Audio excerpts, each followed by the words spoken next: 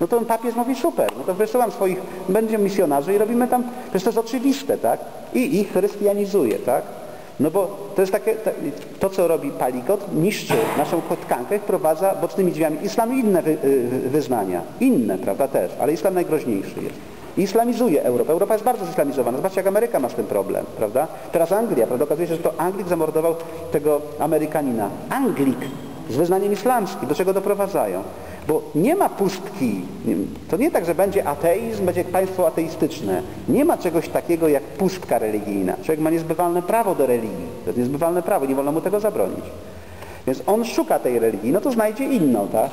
Czyli wykorzenią chrześcijaństwo, tak jak w zachodniej Europie. Masoni, prawda, we Francji, wykorzenili. Ale co? Na to miejsce tworzą islamiści. Oni się rozmnażają, płodzą. I ile ich jest procent? To was zaskoczę. 10% już jest społeczeństwa, a wie, że jest więcej jak katolików. No to kto tam rządzi?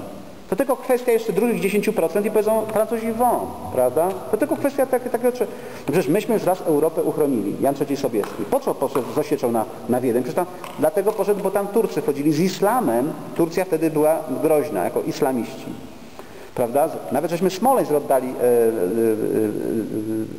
e, e ziemię smoleńską, żeby Rosjanom oddać, żeby nie było wojny z Rosją, żeśmy Smoleńsk oddali, żeby, żeby pakt Grzymałtowskiego to zwane, żeby e, ratować Europę przed zalewem islamu, bo my nie mogliśmy się pogodzić z tym islamem. Co to jest islam? Islam odbiera wszelkie prawa kobietom. Kobieta nie ma żadnych praw w islamie. Trzeba to wiedzieć. To jest w ogóle wbrew tradycji polskiej, prawda? Odebranie wszelkich praw kobiecie. I tu kobiety powinny ostro zareagować, szczególnie kobiety, bo islam ich sprowadza do, do no, no gorzej niż, niż... To się zainteresujcie, panie drogie, czym jest islam dla kobiety? Kobieta jest niczym, jest narzędziem, nic tylko. Jest nikim i niczym w islamie. To trzeba sobie zdawać sprawę. Oni sprowadzają kobietę do funkcji reproduktowej, jak te kurczaki, które w inkubatora. I to jest tylko jej prawo, prawda? Nic więcej. Jeszcze najlepiej, jak się wszystko zasłoni, jak wyjdzie, chodzi na zewnątrz, po prostu, żeby nikt nie wiedział, że taka osoba istnieje. On ma rodzić dzieci, nie odzywać się. Tylko to jest taki, to jest jej obowiązek. Praw nie ma żadnych w islamie. No, czy chcemy takie państwo w naszej tradycji? Kiedy u nas była Maria Leszczyńska, królowa Francji i tak dalej. No przecież to jest wbrew naszej tradycji, prawda? I mężczyźni też na to nie powinni pozwolić. Żeby tacy ludzie, po prostu tak, żebym z kobietą nie mógł wyjść do kościoła, ona się musi cała obrać, zamaskować się musi, bo taka jest tradycja islamska. Jak narzucą taką formułę, no to trzeba, bo tam są kary śmierci. Tam nie jak w katolicyzmie, że ja mówię, a ja sobie na mszę nie pójdę. Tam nie, nie pójdziesz na mszę jedną drogą, kara śmierci. Tam jest wszystko kara śmierci. Zdradzisz męża, kara śmierci. Tam za wszystko jest kara śmierci. To jest religia fanatyczna która nam grozi. Dlatego odbiegam, zobaczcie, od in vitro pożenna i każdy temat, który bym poruszył, zobaczyć, jakie nam zagrożenie grozi. A jaki jest ratunek na to? Prosty ratunek. Skrzyknijcie się, drodzy Państwo, ja Was proszę. Bo zagrożenie jest poważne, Wy je lekceważycie. Oni się cieszą, że Wy jesteście uśpieni. Znaczy, gdybym ja tu nie przyjechał, nie będzie żadnego fermentu, tak? Ale wy jesteście cały czas jak pod, pod takim e, e, anestezjolog, ja bym powiedział, w Polsce jeszcze brakuje premier, coś tam i minister, anestezjolog do usypiania czujności obywateli, tak? I wejdźcie dzisiaj, na, nie tylko na mój e, tutaj spotkanie, ale wejdźcie jeszcze na spotkanie z żeby było to kompatybilne z Glińskim profesorem i Zybertowiczem. Oni dokładnie mówią, tylko oni jakby nie znają drogi, bo to są już ludzie tak y, nauczeni, y, powiedzmy, oni nie, nie wiedzą jak z tego, nie, jak, jak, jak to, wiedzą, dlatego nasza fundacja nazywa się Kwomodo. Wszyscy wiedzą co, a nie każdy wie jak to rozwiązać. Ja też mogę wiedzieć, kurde, coś mi nie pasuje, ale jak to rozwiązać, tak? Hasło do krzyżówki, no wiem, że kurde, nie mogę sobie przypomnieć. Więc problem jest Kwomodo. Jak to zrobić? Ja przyjechałem Państwu powiedzieć, jak to rozwiązać ten problem. To jest nasz naturalny problem. Nie proponuję Wam, zróbcie manifestację, napiszcie szyldy, idźcie pod, pod urząd i manifestujcie. To co Wam powiem, partie Wam powiedzą. No wy powiecie, dobrze, ale jaki z tego skutek? A może tak jak w telewizji trwa doniesie skutek. No być może, jak jest to rzeczywiście wielka siła, nie wykluczajmy tego, bo to jest rzeczywiście ostateczność, ale to jest najczęściej jałowy proces, szczególnie lokalnie. Poza tym władze nas zneutralizowały, rozbiły wielkie korporacje, znaczy firmy, stocznie i tak dalej i zneutralizowały te protesty. Ludziom się teraz trudniej skrzyknąć w jakiś protest, prawda? Zresztą może być tak, że w żywcu społeczność może być nie, nie, nie, nie, nie, nie taka, jaka jest gdzieś indziej. Na przykład gdzieś indziej mogą akceptować na przykład in vitro, a wy nie. Bo wy jesteście katolicy, a są regiony gdzieś tam na przykład, na, nie będę mówił, gdzie są mniej katolickie. Już tak w Polsce zaczyna być.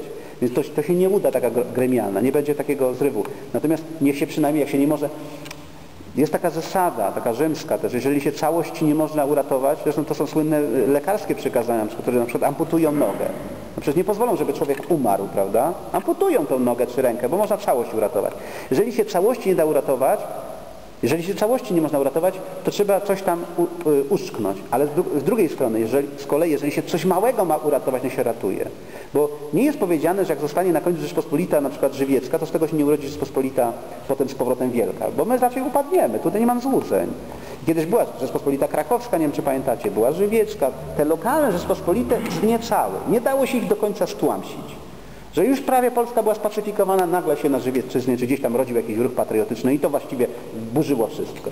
I bym chciał, żeby Żywiecczyzna została takim, taką, taką rzeczpospolitą państwem, samorządnym po prostu.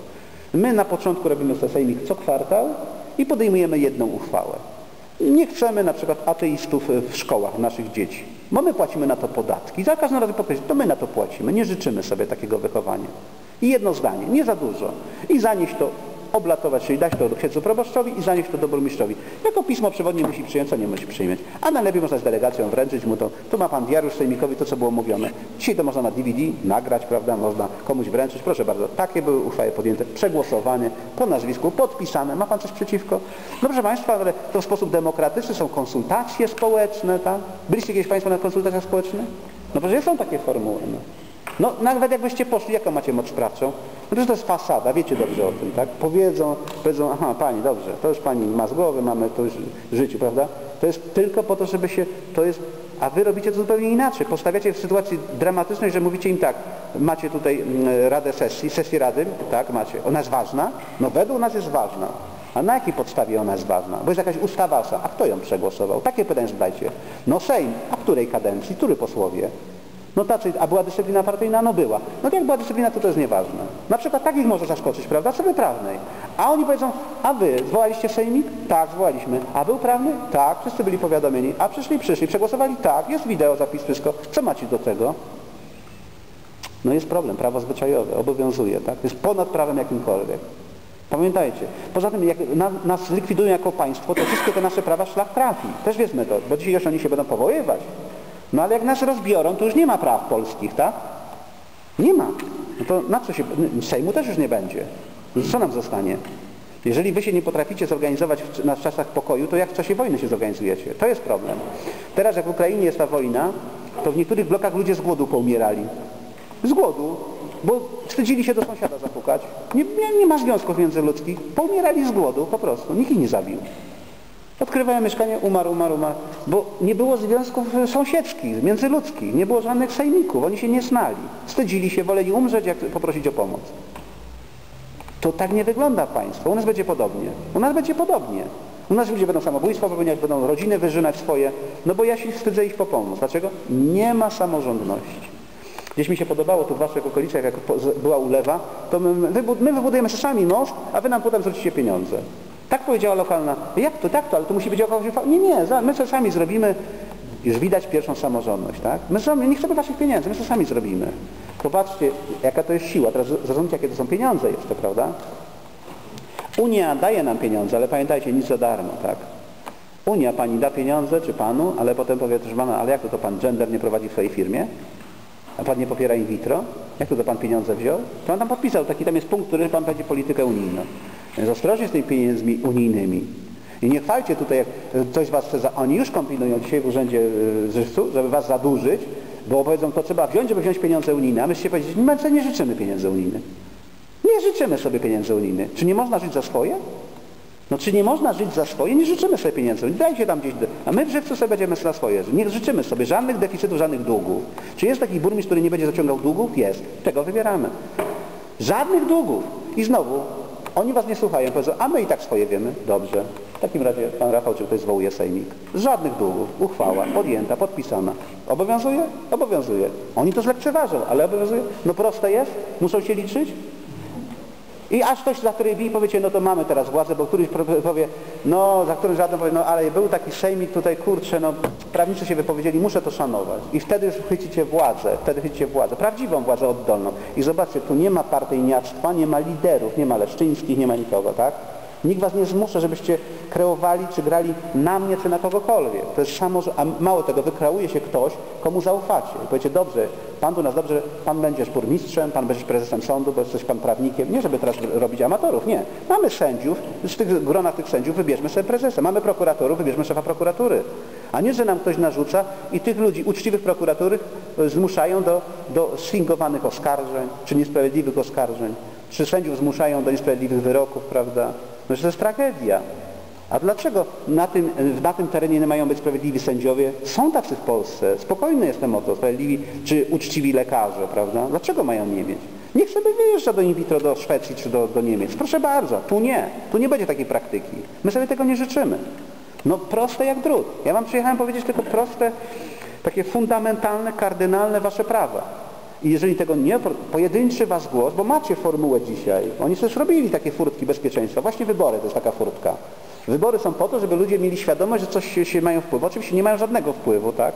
Bo wybory są dla nich, jak powiedziałem. Oni się tam pozmieniają, a możecie petycję napisać. No co możecie jeszcze więcej? Ja nie wiem, może jest tam jeszcze form jakiś, możecie pikietę zrobić. No niewiele macie tych form. No i co? A skuteczność jaka?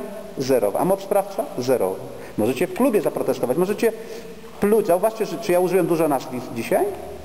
Zauważyliście, że ja nie użyłem dużo nazwisk rządzących? A wszyscy wiecie o co chodzi? Zauważyliście? To nie jest system tego typu, że ja opluwam. Gdyby tu przyszedł cały nasz rząd, ja bym go ignorował. Ja do państwa nic nie mam. Wy sobie twórzcie własne państwo. Ja do was nic nie mam. My tworzymy własne państwo. Wyście stworzyli na bazie bolszewi państwo, które ono nas mało w ogóle interesuje. Tak? Nie rozwiązuje naszych... Bo państwo, jako, które dbając o dobro wspólne, musi rozwiązywać problemy i musi dbać o bezpieczeństwo. I pytanie, czy to robi? Nie. To ja nie akceptuję tego państwa. To jest obce państwo. Tak jakby było zaborcze czy inne. Nie akceptuję tego państwa. Ja szanuję prawa. Ja nawet pójdę na wybory. Tak? Wybiorę. Ale wiem, że ten głos może być przehandlowany, przenicowany. Ale jednocześnie dbam o to, żebym stworzył sobie własną strukturę lokalną, mocną, samorządną. O to was proszę. No zapochylcie się na tym, przedyskutujcie. Możecie się najpierw spotkać w formule klubu albo już od razu sejmiku. No pierwszy sejmik powinien się zwołać po to, żeby ustalić, czy ten sejmik chce być sejmikiem, tak? Żeby sobie przegłosować tak. Tak, od dzisiaj chcemy być samorządni na tej ziemi. To niech zabrzmi. To nie będzie głośne, nie zaraz media przemilczą, zamilczą was na śmierć, tak nie zamilczają. Czy jakiś dziennikarz tu nie ma? Zamilczają. Nie, ma, nie istnieje taka forma, w ogóle nie istnieje taki ruch w Polsce. Nie ma czegoś takiego. Jakby nie pan Rafał, no to w ogóle nie ma czegoś takiego, a jest.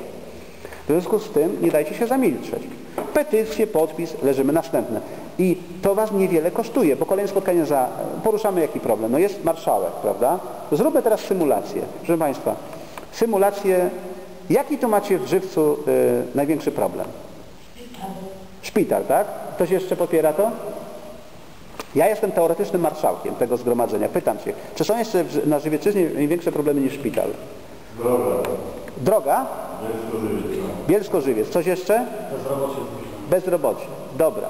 Więc ja jestem marszałkiem, są trzy problemy. Jest bezrobocie, jest służba zdrowia, bo tak to trzeba określić, i jest droga. Z punktu widzenia przyszłości największym problemem jest służba zdrowia i bezrobocie. Zostawmy na razie drogi, bo one są jakby też ważne, bo to infrastruktura może powodować, że bezrobocie będzie mniejsze i służba zdrowia, prawda? Zajmijmy się tymi trzema problemami. Yy, yy, o, o, bezrobociu zaraz powiemy, ale powiedzmy najpierw o, o służbie zdrowia. W czym jest problem w tym szpitalu? Co, co się dzieje, że jest, że jest źle? Za długie... No, jest taki problem, że jest bardzo stary szpital, Mhm. źle zarządzany, źle le, pacjenci s- są źle leczeni. Dobrze. Jest, y, no, zadłużony jest też ten szpital. no, Ale pani wie, że... No, tak, tak. Pani, pani, pani, pani ma... na ludzi starszych nas źle leczą, nie dają, nie dają im leków jak, jak trzeba, y, tylko y, uważam, że na przykład tak 80, y, ja wiem to po swojej mamie, nie jakby lekarz y, powiedział, że mój, bo leżała dwa tygodnie w szpitalu i powiedział lekarz, że moja mama kosztowała szpital 50 tysięcy złotych, bo żeśmy się, ale to było już y, 10 lat Ale pani, niech pani mi teraz powie, ja zadam pani, za- zaraz panu dam pytanie, tylko panią dopytam tylko, już pan odpowie. Pierwsze pytanie z pani za- zadam. Czy pani to widzi problem jako partykularny, czyli swój osobisty, czy szerszy? Dobra, i teraz niech pan powie. Właśnie do tego, do szpitala.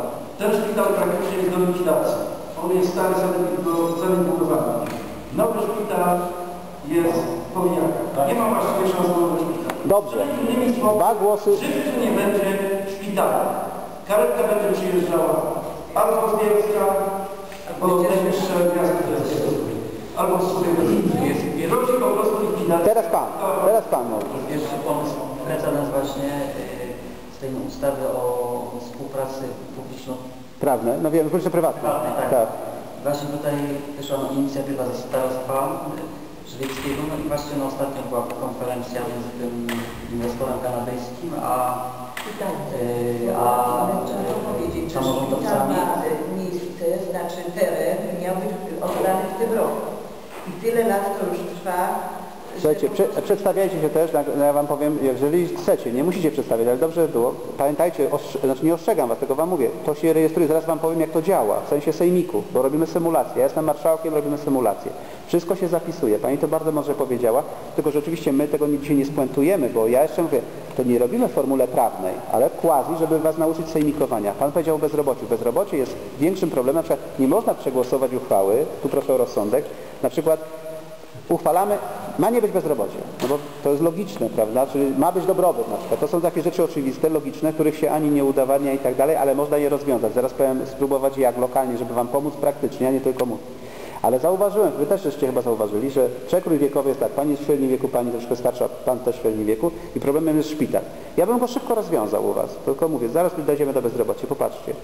To się przegłosowało, czyli gdy byłby to normalny sejmik, to to wszystko, co Pani powiedziała, Pani dopowiedziała troszkę, oczywiście nie wszystko, bo symulujemy, to, to wszystko byłoby w diariuszu, każde słowo. Y, y, wiemy, jak to działa. Pan mówi i to się rejestruje, tak? Każde słowo. Teraz ja biorąc ten diariusz, on może być długi, bo jak obrady są 2-3 godziny, to jest kilkadziesiąt stron. I ja czytam, tak? Aha, ja jestem królem. Żywcu jest problem ze szpitalem. I teraz czytam Pani wypowiedź, Pana wypowiedź i tak to działa. Rozumiecie, jak działa problem sejmików?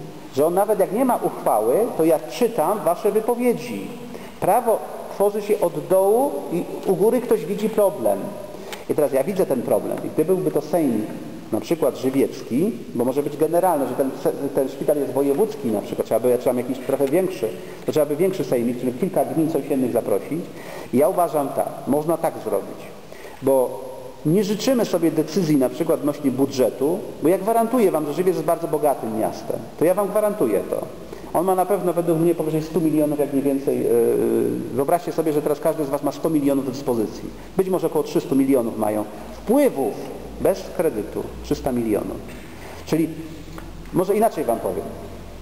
Żeby Wam powiedzieć, jak jesteśmy bogaci jako Polska, żebyście, żebyście raz na zawsze zrozumieli, że nas okradają, ale to tak, że wmawiają wam, że jesteśmy biedni. My płacimy 50 miliardów co rok odsetek od naszych długów, gdzie nasze rządy robią, tak? Yy, uświadomimy sobie, co to jest 50 miliardów. To jest 50 stadionów narodowych, przepłaconych dwukrotnie, bo stadion kosztował około miliard, jeden. Czyli my co roku płacimy 50 stadionów narodowych odsetek. Rozumiecie, jak to jesteśmy bogaci? I tego się ludziom nie mówi. 50 stadionów narodowych, a nam jeden wybudowali przez 30 lat. A co rok płacimy 50 w formule odsetek. Odsetki same. Czy dociera to do was, jak, jesteśmy potężnie bogatym krajem? Kto się bogaci? Żydzi, lichwa cała światowa, prawda? 50 stadionów rocznie płacimy odsetek od naszego długu. A gdzie dług? Ale płacimy solidnie. To jesteśmy bardzo bogaci. To samo dotyczy żywca. Żywiec ma budżet, jak, jak y, spójrzcie, sejmik ma prawo zaprosić, prawda? Y, zażądać nawet, zaprosić burmistrza na przykład obecnego, albo kogoś skarbnika i powiedzieć, proszę pana, łapki na stół, ile macie dochodów? Y, 300 milionów, na co wydajecie pieniądze? Ogólnie, nie konkretnie, a na drogi tego, proszę pana, wycinamy to wszystko. Przez 5 lat wydajemy tylko na służbę zdrowia, ale jeden warunek. My decydujemy, wybieramy, my wybieramy dyrektora szpitala. My wybieramy. Wy robicie pulę, my, my, my, my monitorujemy ten konkurs. Wystarczyłoby dwie, trzy osoby w tym szpitalu i mądre finansowanie i służba. Najlepszy szpital w Polsce, tak? Wy dyktujecie warunki. Bo tak można to zrobić, najlepszy. I co? No trzeba zrobić wydziały jeszcze. Paliatywne, czyli ochrona starszych, można zrobić kardiologiczne i tak dalej. Jaki to jest problem? Żaden problem. Ja ten problem wam rozwiązał w ciągu roku. Gwarantuję, tak? To pytanie, dlaczego inni nie mogą? No bo nie ma po pierwsze siły sprawczej i nie ma kontroli. Wystarczą tylko dwa elementy. I oni będą tak przykać, tak? Bo na szpital damy tyle, a na to damy tyle. Aha, bo ten radny to pracuje w drogownictwie, to damy mu temu, temu trafimy na szpital i nic nie jest. Wiecie, jak tym słynnym, że światło trzymały i, i, i nikt, nikt nie ma w tym przepowieści. No nieraz trzeba jak na wojnie przegrupować siły i środki. I na krótki okres, bo na szpital trzeba przegrupować na przykład przez 3 lata budżet, żeby go wydźwignąć. Potem może jako inwestycja będzie funkcjonowała. I zaskoczę Was, szpital powinien być fundacją. Król Stanisław Leszczyński nie miał nigdy ministrów, miał tylko fundację. Powinien być fundacją, czyli co? Powinien pozyskiwać własne środki. Powinien nawet, ludzie powiedzą, dobrze, my się opodatkujemy, 5 zł będziemy płacić rocznie. Wiecie jaki to jest pieniądz? Tu mieszka powiedzmy kilkaset, to są, spokojnie może ten szpital się 5 zł rocznie? Pan Tomasz. Nie ma problemu, panie Tomaszu, proszę bardzo. Ja do szpitala. Y, Zgadzam się całkowicie z panem, że Żywiec, Żywiecczyzna jest bogata, bo ma to być szpital powiatowy.